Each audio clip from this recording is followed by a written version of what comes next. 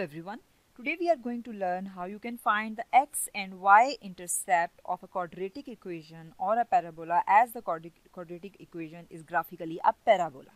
So how do we come to know that what is what is the quadratic equation? Quadratic equation is an equation where the power of x is 2. So here we, we have the power of x is 2 or square. So this is a quadratic equation. We in the previous lecture we have seen the linear equation having the straight line graph, graph and a quadratic equation has a curve that is parabola. So when we plot it on the graph, we will get a parabola. So let's see how we can find the x and y intercept in a case when you have the quadratic equation. So x-intercept is basically the point where the curve or the line cuts the x-axis. So on the entire x-axis, we have y is equals to 0.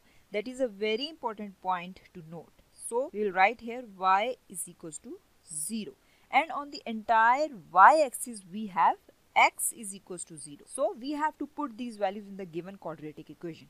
So let's do this as we have 2x square minus 7x plus 3 equals to 0. So here we ha already have e uh, uh, equation having the uh, value of uh, of y equals to 0 as this is actually the f of x that is equals to y. So y is equals to 0 we have put here. 2x square minus 7x plus is a quadratic equation so we have to factorize it to get the values of x.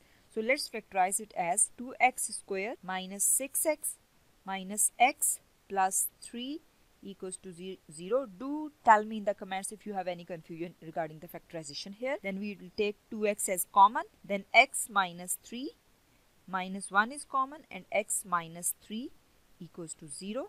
We will get 2x minus 1 and x minus 3 equals to 0. So what will be what will be the value of x here? One value of x will be 2x minus 1 equals to 0. That is x is equals to 1 by 2 and the value of other x will be x minus 3 equals to 0 that will lead to x equals to 3. So here we will get two points. Keep this in mind in the quadratic equation while finding the x-intercept we will have two points. It means it cuts the x-axis at two points. So what will be the two points? 1 by 2 and y will be 0 and another point is 3 and 0. So these are the two points that are very important to keep in your mind while, mm, uh, while plotting the uh, on the graph so that we can have the x-intercept. Now let's find the y-intercept. Now y-intercept will be 1. Here x-intercept we have 2 points but in y-intercept we will get only 1 point. How? Let's see. So 2x square minus 7x plus 3 equals to y. As we know that we have to put x is equals to 0. So what we will get is 0 minus 0 plus 3 equals to y and we will get y is equals to 3. So what will be the points? points will be 0 and 3. Keep this in mind while writing the point always write the x point first then the y1. So these are the x and y intercept of the given quadratic equation that we have found algebraically. Now let's see how you can find it graphically. We have to take the random points but we will prefer to take the points that we have found in x and y intercept. So we'll start from, from if we have x as 0.5 or that is given in the first x-intercept then what we will get we will get the y as 0 so if we have the x as 1 we will have the y. Th these points can be uh, taken by just putting the values of random values of x in the given quadratic equation.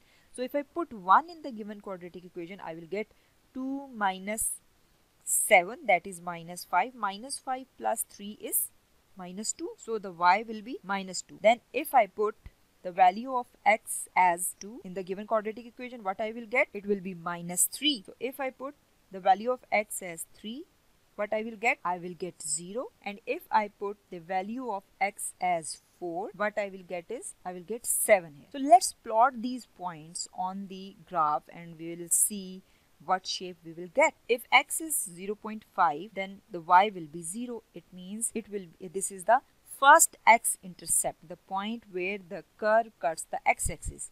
So this will be the point. This is the first x-intercept that is 1 by 2 and 0. Then we have 1 and minus 2. 1 is the value of x and minus 2 is the value of y. so this will be the another point then we have 2 and minus 3 this is another point then we have 3 and 0 this is another x-intercept so we will have to plot it at this point then we have 4 and 7 that is if x is 4 then y will be 7 it means we have to plot it somewhere at this point. So if I join these points what I will get? Let's see. So this is somewhat like this. And if I draw the y-intercept as well y-intercept is the point where this parabola will cuts the y-axis. The point is basically 3 0 that is this this point that we have found in the y-intercept. This point so I'll join it now as like this. So this is the shape of the parabola that we get from the given quadratic equation. So keep this in mind that the quadratic equation will give us a parabola and the parabola will always have two x-intercept and y and one y-intercept. It depends on the equation given. It is not necessary that we will have the x we will always have the uh, 2x intercept depends on the position and the direction of the parabola so here we will we we were having this is an x intercept this is another x intercept and this is the y intercept so these are the points where the parabola is cutting the x and y axis so this is how you can find the x and y intercept of a quadratic equation that will form a parabola algebraically and graphically. So that's all from today's lecture. Thank you.